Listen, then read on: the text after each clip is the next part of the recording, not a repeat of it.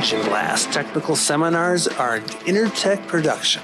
For instructor-led.NET, Java, and XML courses, visit us at www.intertech.com.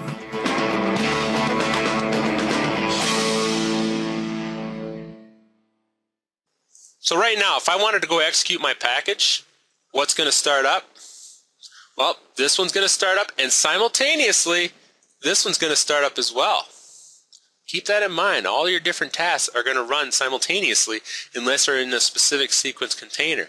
Only when this one was completed will it start this one down here. And again, just double click any of them and you can go ahead and work with that data flow task, working with these different transformations. I can drag any number of shapes on here, like an OLE DB data source. And you'll notice how once I get this guy configured, he'll show up down here in the connection manager. So I can go ahead and you see this red X, he's telling me, hey, this thing isn't set up yet. You got to set this guy up. You can actually double click the red arrow or the red X, if you will, to help you configure this guy. So here I can go ahead and choose to create my connection manager. And it says, hey, you don't have any down here yet. It's like, oh yeah, okay. So I'll go ahead and choose one here, maybe AdventureWorks. Click OK. And then I could choose perhaps a name of a table or put in a SQL command, if you will. And then choose that actual object, right? And there's a ridiculous amount of objects in here. You know, and now notice the red X went away and it's good to go.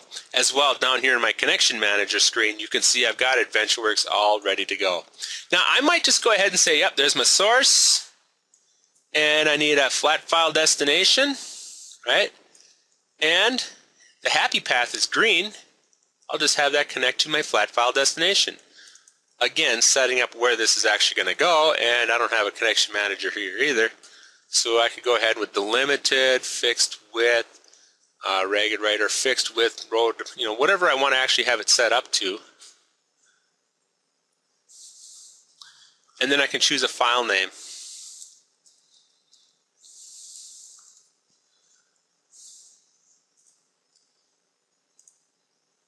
showing me the actual columns there. And I go to the mappings and I can see that the columns from the available input columns are going to be copied over to the file. I click OK, and look at that, the red X is away. You know, some of these things are like, ooh, I got to line this up, right? I got to move this half a millimeter over to the right. This is ridiculous. Don't do that. You can just right or select group of the items here and go to your format drop-down menu. Here you can go ahead and align like maybe on centers. Look at that. Isn't that slick? There's all kinds of other cool things you can do. For example, you can choose to um, oh, auto size these things. Oh, nice. It took off my alignment. Take a look at some of the other things you can do off your format menu as well. Uh, make same size, horizontal spacing, vertical spacing. You know, that's going to mean more to you when you uh, have more shapes on here. Okay. So this is my data flow task, and this one happens to be data flow task 1. I go back to my control flow. Keep in mind it's this guy right here. I can't, I gotta remove the connection before I can move that guy. That's fine. Alright, does not like that at all. I can go ahead and blow away some of these other ones here. And get rid of my sequence container. It's giving me all kinds of warnings here about deleting that. Are you sure? Because it's a big deal when you're blowing those away. Remember, every object within the control flow or the data flow has its own set of properties. Like here, for example, I'm looking at data flow 1. These are the properties for it. Now, if you've done any development in .NET, or if you've taken like a C Sharp or VB class with me or an ASP.NET class, oftentimes I recommend my students sort them alphabetically. However, when I'm doing BI work with SSIS, IS, or RS, I like to sort them by category because there's usually not that many properties and it does help me find the properties because of their types. They've got some really good categories in the properties window when you're actually running these. See the asterisk at the top? means it hasn't been saved yet. So I'm going to go ahead and click on the Save All and that's saving those changes off to that data flow. Now you might actually have multiple tasks on this control flow. As we saw, we had multiple data flow tasks, or you might just have one, and that's it. I can set up a, uh, event handlers to go ahead and subscribe to certain events here. Like for example, handling the on error on information or what have you, and even explore the package, taking a look at the variables that are contained within it. These are some of the system variables. You can tell by the color of them, and they start, of course, with that namespace system, and even my event handlers. So now I can go ahead and execute this thing. And it turned green. Yay! We love green. Green means it is successful. And it says down here at the output window, finish, success. And then of course I can stop debugging. If it failed, I would see red, right? If it was some reason it couldn't connect to the file, couldn't write, or could be even worse than that. So that should have created a little text file in the root of my C drive. If it did not, that's okay. I'll go on like nothing happened. okay, so here we got, oh, let's see. Today is the 4 or 5, test.txt, and here's where it moved all that information over to this txt file directly from the uh, AdventureWorks database. So that's pretty cool. That's just a little taste of what you can do with SSIS. Know that back over here in the data flow, I can obviously choose many more destinations. And yes, I may want to set up a SAD path as well. Maybe have a flat file destination, especially if I am actually doing some transformations. Uh, this is something we can go into class though. Uh, we can see how we can actually do like data conversions, copy a column, maybe create a derived column from two or three other columns. There's a lot of really cool things we can do in the transformation section. As well, remember, we are also going to cover many best practices. Uh, one of the last chapters we cover is just a huge number of best practices. Like, for example, some of these transformations are blocking. They will literally wait until it's done. They'll wait until the transformation's done before, or they've gotten all the data from the source before they perform the transformation. Like, for example, this sort one can't actually sort all your records until it's gathered them all up from your source. Can you imagine what it's doing in the memory buffers? It's getting absolutely mammoth in memory, then it performs a sort, and then it pushes it off to your destination. You know, as a general rule, when we're doing our transformations, we want to do that work as close to the actual data sources as possible before we actually get it into SSIS. Even though it's intended and it was designed to handle large amounts of memory, still, there's a lot of best practices you need to follow within SSIS. And when you take the training with us at Intertech, I'll hook you up with those best practices. As well, I always tell people this, when you come take a class, by all means, you also want to talk to the other students who are doing the exact same st stuff you're doing. That's one of the advantages of taking classroom training is just to talk to other people who are doing the same thing, right? There's, how many people do you know on your block that are doing SSIS packages, right? Exactly. Not maybe not too many of your neighbors, but you come together in a community like a classroom environment, you can all discuss these features. Now this is done. All I'd have to do is deploy this package. And there's actually three different destinations I can choose. They always talk about two of them, like with, S with SQL Server 2008. Like you can either go to the file system or you can go to the database. There is actually the old, old one, which is the package store, and that's just a specific file location. And of course, once it's deployed, it can be executed.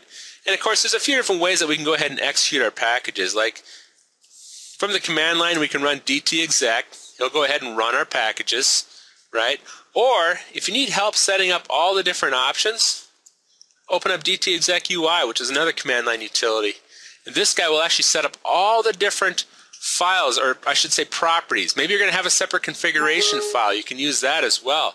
Or different options. There's many different options you can set when you execute your package. And this guy will actually help you build it all up and ultimately choose the command line.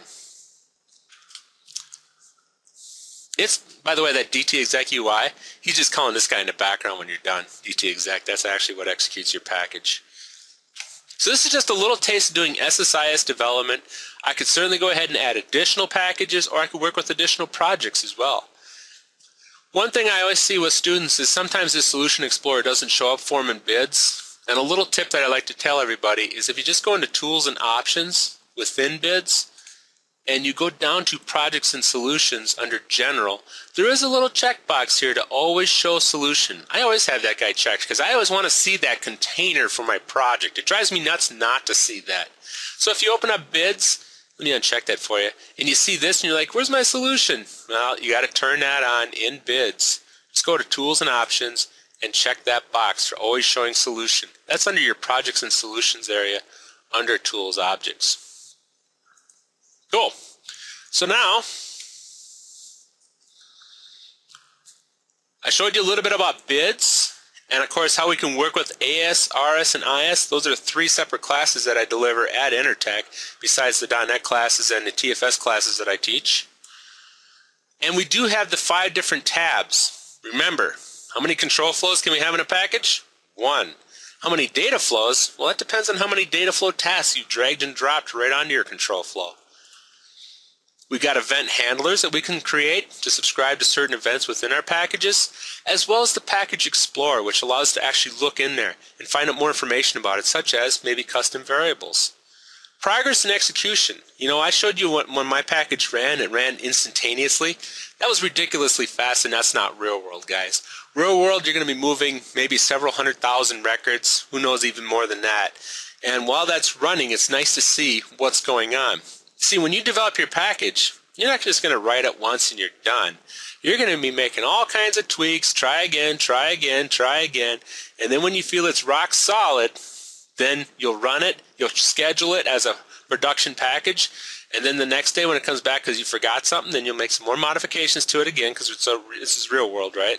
we oh forgot that one little thing, and then you'll fix that and you'll test it within BIDS, and then it officially become a rock solid package.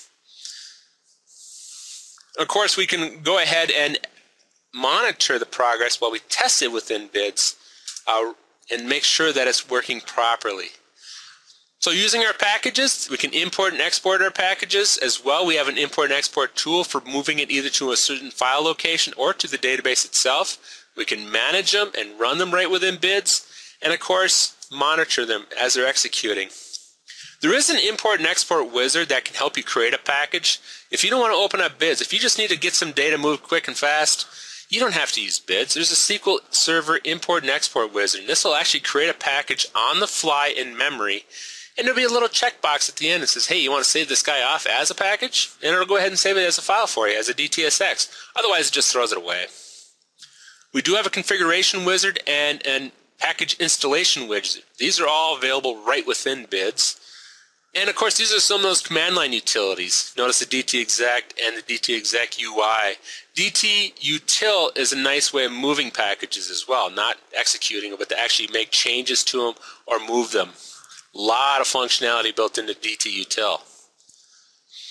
You know what? Thanks a lot for watching, guys. I hope this has been an informational video for you. Uh, if you'd like to come to Minnesota, take some training, or if your group is large enough, I can come out there as well as part of Intertech. Uh, go ahead and just go to intertech.com. That's our website. And I'd be honored to have you in my class, uh, learning about SSIS or any of the other BI classes or whatever you might be needing.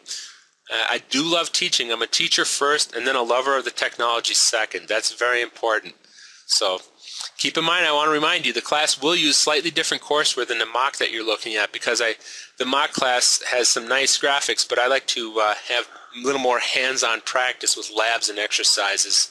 So happy ETLing, folks, and have a great day. For more free learning resources and to see the latest lineup of our instructor-led .NET, Java, and XML courses, visit us at www.intertech.com.